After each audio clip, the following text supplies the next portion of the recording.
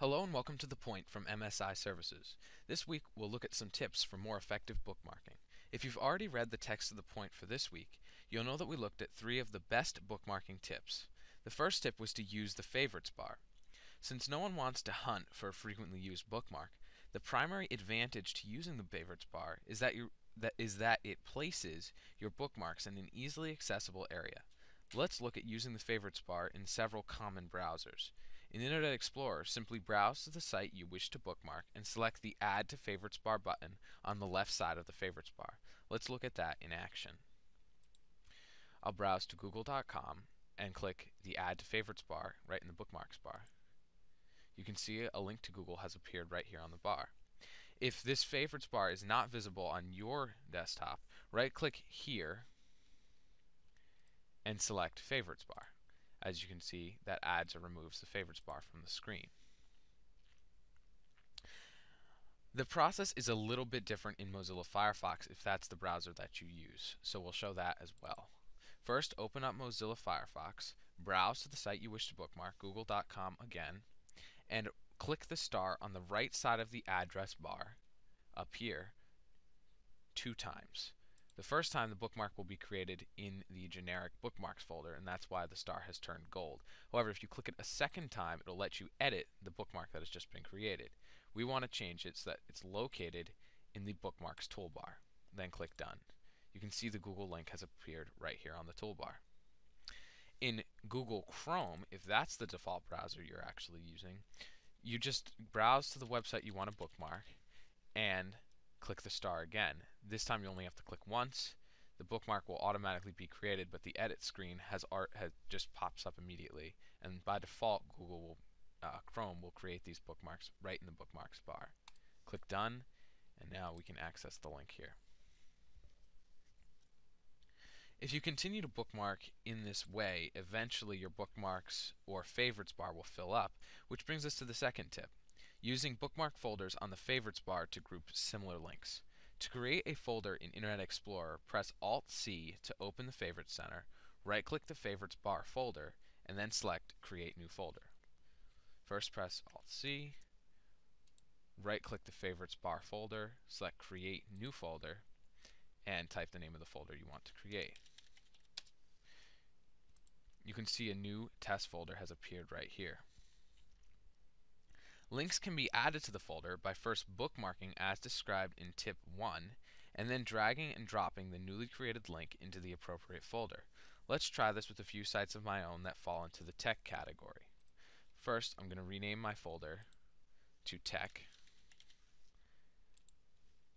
Then I have a few tabs here already with some tech websites open.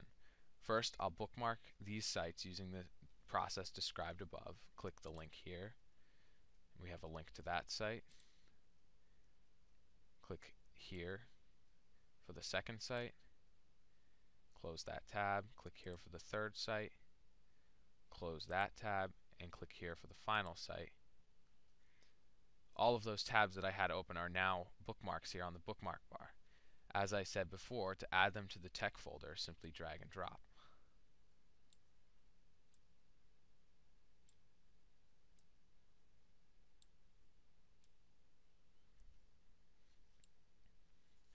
The process is very similar in Mozilla Firefox and Google Chrome. For Google Chrome, uh, for Mozilla Firefox, simply right-click the bookmarks bar itself and select New Folder.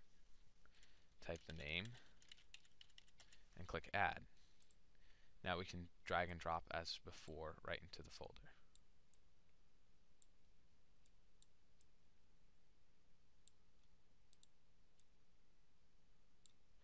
For Google Chrome, simply right-click the bookmarks bar and select Add Folder. And click OK. And drag and drop the links as in the other browsers. And there we have a folder that contains the links that we wanted in all three browsers.